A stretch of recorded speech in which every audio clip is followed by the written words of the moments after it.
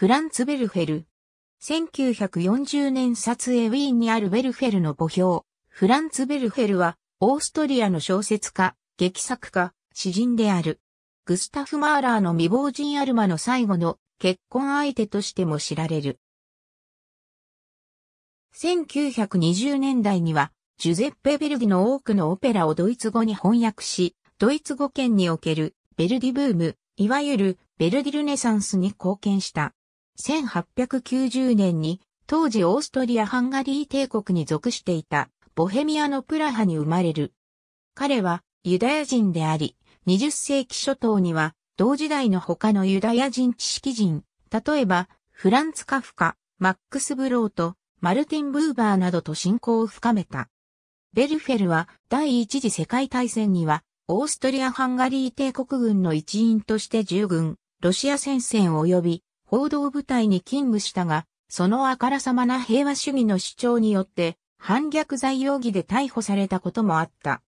1929年に建築家バルタ・グロピウスと離別したばかりのアルマ・マーラーと結婚した。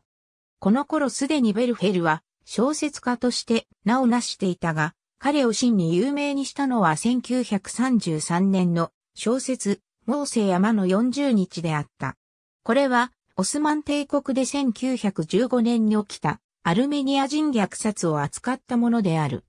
ユダヤ人であるベルヘルは1938年のオーストリア合法を受けてアルマと共に故国を脱出する。はじめ二人はフランスに亡命した。ベルフェルはルルドを訪れ、そこでの体験と同時に祀られている聖人、ベルナデット・スビルーの印象は後に小説、ベルナデットの歌となった。この小説は1943年にハリウッドで聖書女として映画化されている。翌年の毒物海戦とともにフランスも危険となり、マルセイユ在住のアメリカ人ジャーナリスト、バリアン・フライの支援のもと、アメリカ合衆国に再亡命した。アメリカでは南カリフォルニアに在住、同地で彼の最後の劇作、ヤコボースキと大差が表されている。ベルフェルは1945年に心筋梗塞のためロサンゼルスで亡くなった。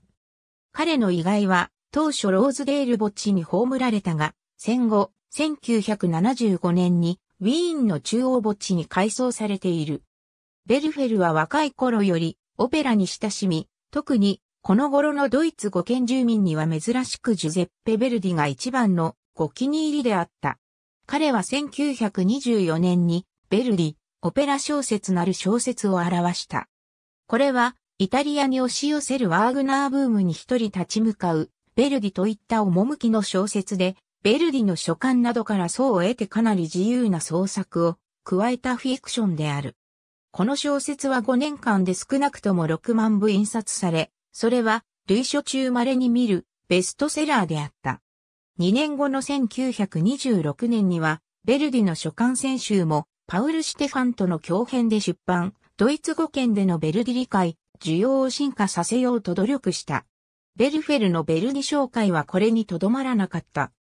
彼はドイツ語圏でのベルディオペラ上演が中期の有名作、リゴレット、イルトロバトーレ、ラトラビアータの3作にばかり集中しているのを遺憾とし、1925年の運命の力ドイツ語翻訳を皮切りに、シモン・ボッカネグラ、ドン・カルロの翻訳を行った。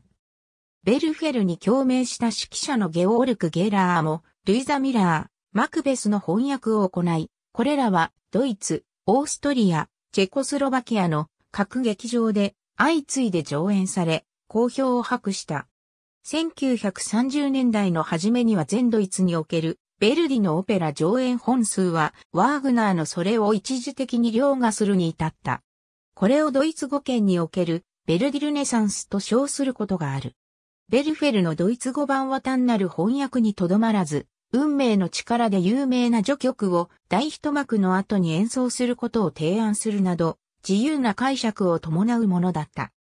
1930年代より指揮者のフリッツ・ブッシュ、演出家のカール・エイベルトをはじめとして、ベルディルネサンスを支えた多くの芸術家が、イギリス、アメリカに亡命し、やがてベルフェルもその後を追うようにアメリカに渡ると、このベルフェル版の新解釈は英語圏でも一定の影響力を持つに至った。ベルフェル自らの戯曲のいくつかもオペラ化されている。ありがとうございます。